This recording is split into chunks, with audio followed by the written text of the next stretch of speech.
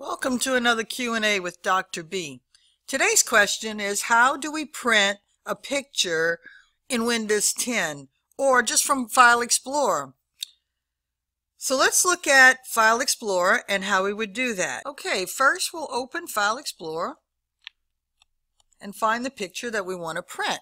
So I have this picture of my family from our vacation on a dive boat and I want to print that picture. So what we'll do is right click on the picture and we open the print menu. Remember that left click does an action, right click brings up a menu. So in order to use our print program, we have to right click and go to print. So then we click on print and it brings up our print pictures menu. We have several options here. It asks us how do we want to print the picture. Right here, it asks us what printer we want to go to. And I'm going to use my PhotoSmart printer because that's the printer that's an inkjet printer and will print on photo paper.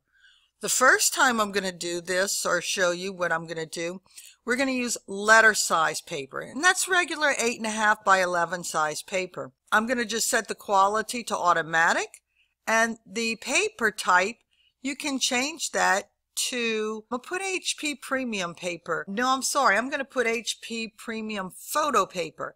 And that kind of paper is uh, an, a paper that is of photo quality when we print it. It's a shiny, kind of looks like we printed it at the CVS. Then I always uncheck this box right here that says fit picture to frame. You can leave it checked and what it will do is enlarge the picture to fit the frame that you have selected. However, it does change the aspect ratio of the picture.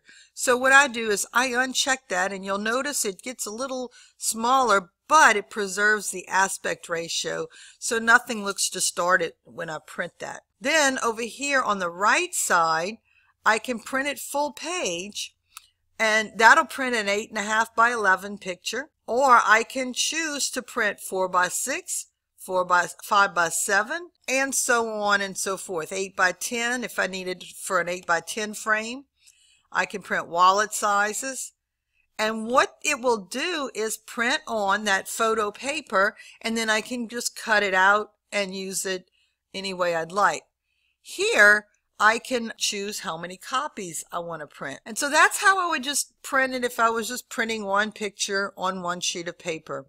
I'm going to cancel this and now holding the control key down I'm going to choose a couple of other pictures here. So I'm going to choose this one, this one, this one. So now I have four pictures chosen. You can see here four selected. And then I'm going to right click and go to print again. Now You'll notice right here it says one of four pictures or pages. If I use my little arrows, I can preview each one of the little pictures that I chose to print. And if I choose one of these other options to print, notice it'll print two different ones here. And if I go like here, I can print all four on one page just because I hit the control option. I can also choose how many copies of each I want. And if I add a number of copies, notice what it does when I have the four chosen. So I'm going to choose four copies. And what it will do is print four copies all on the same page. That's really good if you're sharing your pictures. So now I have four copies of the first print, four copies of the second. And if I only had one page printing, it would print four copies of that one on that one page. I'm going to go back to one here and I want to show you one other little thing. If I choose under paper size, I'm going to go to more. Now my printer will print 4 by 6 inch paper.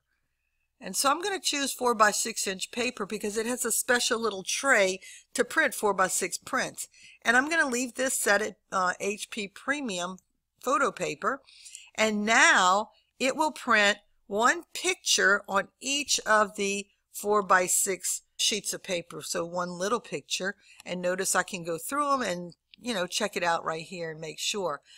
Again, I always uncheck the fit to frame. Now I want you to notice even on 4 by 6 it's not fitting to the frame and that's because the resolution of the picture is not quite a 4 by 6 resolution.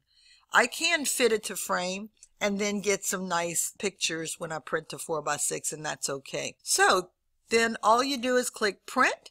It will send it to your printer and that's how you would print from File Explorer in Windows 10. Also, you can use these options right here. I would leave these at the default options because that's the way you'll get the sharpest pictures. All right, that's it for today. Thank you.